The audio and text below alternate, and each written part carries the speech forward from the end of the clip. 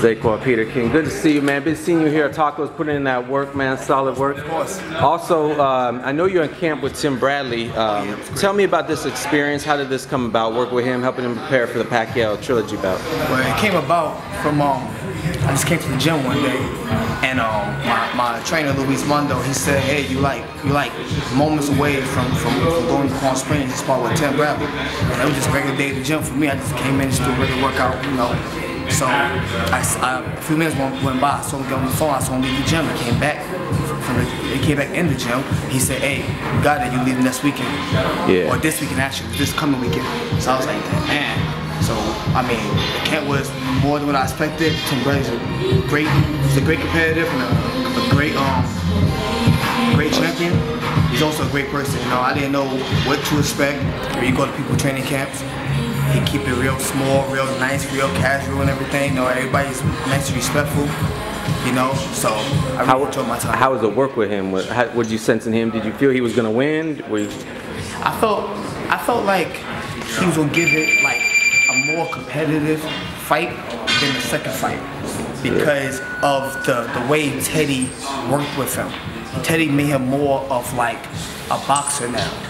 So what I tried to do for him was I studied I studied the first two um, fights between them two. I, I just I watched it like multiple times. You know, within that first week of me being there, I was there for five weeks, and I just studied it. You know, so I want to imitate everything Manny does, everything. So for, the, for that for that month, basically a lot of things that you saw in, in the third fight, a lot of things I did during sparring for five weeks. You know, man, I, that's what I wanted to do. I wanted to move that camera, throw my punches like and everything.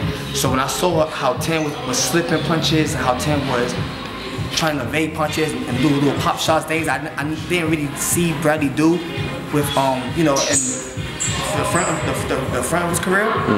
I knew it, it would be a more competitive fight. I knew Teddy made him more of a, of a boxer to, to get through Manny's, you know, yeah. Tell me about you. How did you get into boxing? I know your brother boxed out in New York. I mean, how, tell me your story. How did you get into this sport? Well, I, I, actually, I actually got into the sport. I really, really don't know. You know what I mean? It was Yeah. like it just fell on me. You know, when I was um when I was 12 years old, I saw a, a old Prince Naseem Hamed fight. I don't even know who he was fighting. Yeah. And that was like the first time she sat down and watched a boxing match. And I just watched it, and, I, and you know, I really, really like Prince's style and everything. You, you, you remember Prince? Right. And, and I really, I really like the style, and I was just like, man, like this looks kind of, this looks kind of cool. And then this um, this lady, she was a, a neighbor, a friend of my, my, my, my grandmother back in um, in um, Lancaster, California. On my 12th birthday, she gave me um, a pair of boxing gloves. I never told her anything about boxing. You know what I mean? She never knew anything about me and boxing. She just saw, oh, this makes a good gift for a boy. And with those gloves, went back to the East Coast later that year, and back in New York. And with those gloves, I just box people, one hand boxing. You know what I mean? I have a, a lot of cousins in Bridgeport, Connecticut. We did a lot of one, one hand boxing. I give them the, I kept the left, I gave them the right, and we just go at it. And that's that's how it started. And then after like a good year, get my butt kicked by my cousins. Yeah. You know, you know, especially my, my big cousin. You know what I mean? His name is um his name is Marcus. Man, he used to tear me up. Man, it's like, hate boxing, so I kept doing that. You know, and then um after like a year of that, I said, you know what? How about I just go ahead and enjoy the gym? And that's why I joined New Bed-Stuy Boxing Center up in Brooklyn. Yeah. The rest is just What, ever since. what can we expect in the future from you? I want to keep, you're going to expect me to keep improving. I'm going to keep getting better. Every year, I'm a better fighter than the previous year. You know I mean? I never slow down. I never reach a ceiling, which is great because I'm, I'm a little on the older side now.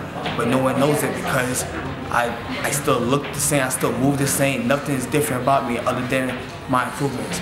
And every year, I get better at something. At something. If I feel like I need to work on my footwork, I get better at that. Work on handstand, I get better at that. So you you're gonna expect a, a, a more a more excited Zaquan Peter King. Pro, de- pro debut coming soon, right? Or Excuse me? pro debut coming soon? Or Coming real soon. It's, it's definitely gonna be this summer.